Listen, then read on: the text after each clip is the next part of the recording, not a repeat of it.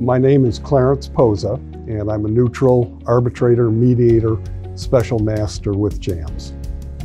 The practice areas that I've focused on at JAMS include business cases, employment cases, environmental cases, automotive disputes, uh, warranty and contract matters, product uh, liability matters, and financial cases.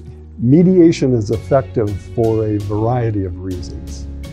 One is the uh, magic of a mediator.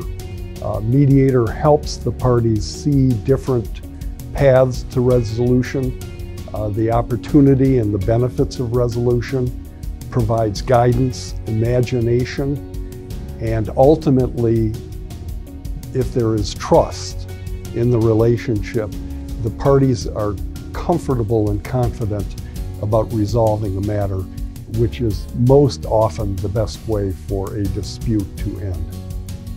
There are often roadblocks in an arbitration or in particular in a mediation. Building the trust of the parties is the first piece necessary in order to overcome a roadblock. Sometimes one has to push some or pull, but ultimately, if you've built the trust and you work with the parties openly, working imaginatively and intellectually with the parties within the context of that trust allows one to overcome roadblocks.